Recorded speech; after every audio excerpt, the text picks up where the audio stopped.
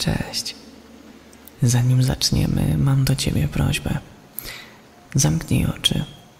Odpal mnie na słuchawkach. Połóż się i upewnij, że nikt nie będzie ci przeszkadzał. Zaufaj mi. Dzięki.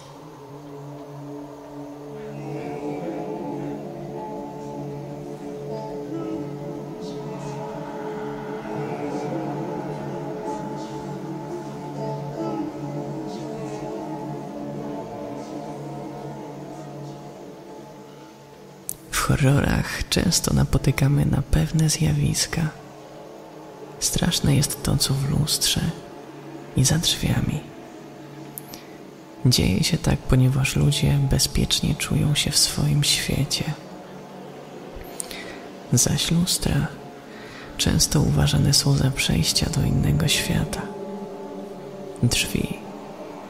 Gdy człowiek znajduje się w jakimś pomieszczeniu, ma względny obraz tego, co dzieje się wokół niego. Pomieszczenie przyległe pozostaje dla niego tajemnicą. Nie może zobaczyć, co w nim jest, ani co obecnie się w nim dzieje. Podświadomie uważa również, że nieważne, co mogłoby tam się kryć, nie wejdzie do niego, chyba że przez drzwi. Odbijające się w lustrze drzwi. Co wtedy? Zadaj sobie to pytanie, gdy stać będziesz przy takim lustrze. Patrzysz na swoje odbicie oraz odbicie drzwi.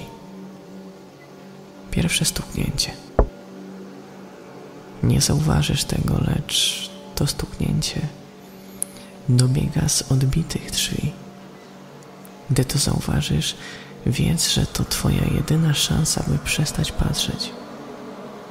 Ucieknij, a nic się nie stanie. Drugie stuknięcie. Teraz jest już za późno. Nieważne, czy uciekniesz.